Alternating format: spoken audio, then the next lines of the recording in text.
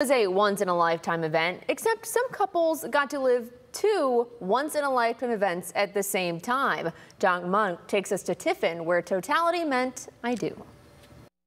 The gathering at the East Green Amphitheater in Tiffin might have been the best dressed eclipse watch party in Ohio, as about 135 couples from the area and across the country gathered for Elope at the Eclipse, a special promotion that covered all of the costs of a wedding ceremony and reception for participating couples. All they needed to bring was a valid marriage license. Not only to see it by yourself, but to see with you know a thousand people around you from all over the country uh, and they're here to get married, which is another cool factor. Um, it, it, really is something special. I thought it was a good idea. At least it'll stand out, like being an eclipse and everything. So. I think it's pretty cool. It's like a once in a lifetime event, you know. And as totality set in, these couples took a few moments to take in the once in a lifetime sight, then set their sights on their future spouse. For richer, poor.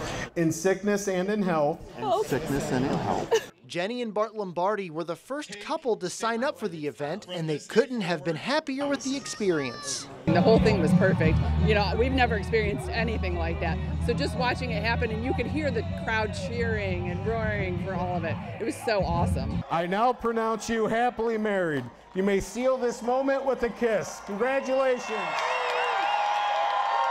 And with a kiss, dozens of new married couples began their life together under the shadow of the moon, along with many more couples who renewed their vows. It was probably the shortest wedding ceremony these couples could have planned for, while also being the most memorable. I can't believe the turnout. I can't believe how smoothly everything went, that they just did an awesome job. We say they're the best wedding planners ever. Reporting in Tiffin, I'm John Monk, WTOL 11.